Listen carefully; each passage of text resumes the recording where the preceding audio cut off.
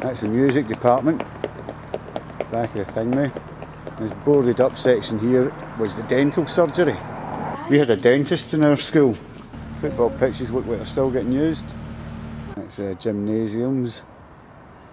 There's a hall up there. Windows are all smashed in. Probably other pupils that hated the place. There's the dinner halls. I didn't know it was lying sort of derelict, man.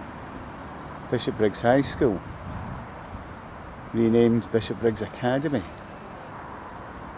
This is the back of the school, of course, it's not the front of the school. And the chimney. That was actually a smoker's bit at one time.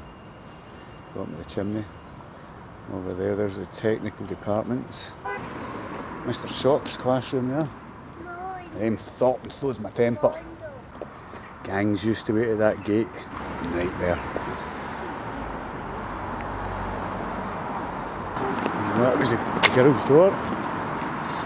Boys' door. This place was a hellhole, I hated it.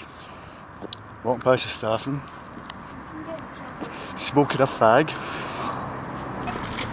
I would have got six at the belt for walking about with a fag when was here. I might get a ticking off, but I won't get the belt. No. Frank Gilson used to be waiting in there when I'd turn up at school in the morning for my one of the bell. He was a teacher on duty to give everybody one of the bell as from nine o'clock. This radio station. Yeah, it's dad's old school. Keep it locked to the number one station.